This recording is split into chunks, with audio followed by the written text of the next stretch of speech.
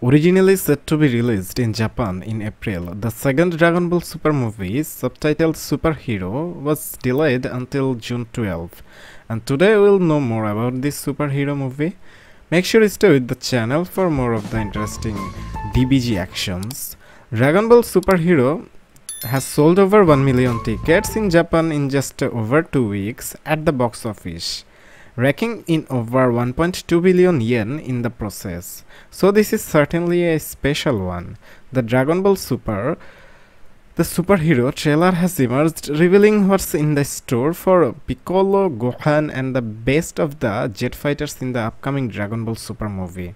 The fact that uh, the new release date put the movie right around the corner from the Father's Day that made the superhero feel just little more special, seeing as the film celebrates one of the most popular father figures, not just in the Dragon Ball verse, but in all of the anime out there, the alien slug warrior Piccolo.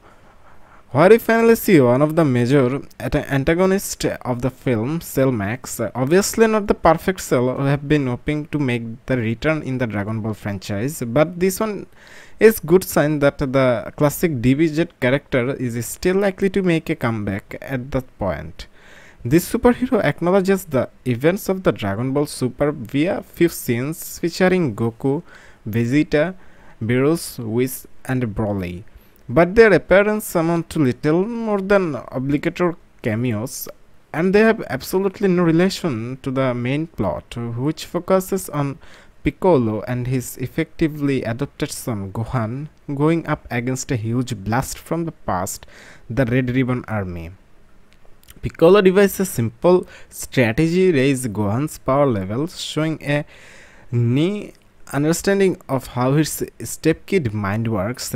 The second comes near the end when the Gohan has to make a choice that could honor either Goku or Piccolo. Naturally, he goes with the latter because he is smart enough to know the difference between a father and a dad, which is who Piccolo at his core. There more the plot including the surprise return of a familiar villain in an unfamiliar form, plus a whole new chapter in Piccolo's characterization that will hopefully carry on the Dragon Ball Z Super series and in also in the future movies.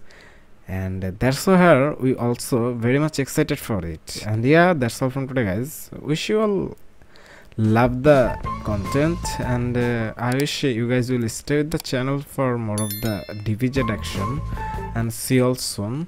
Till then have fun, good luck and peace.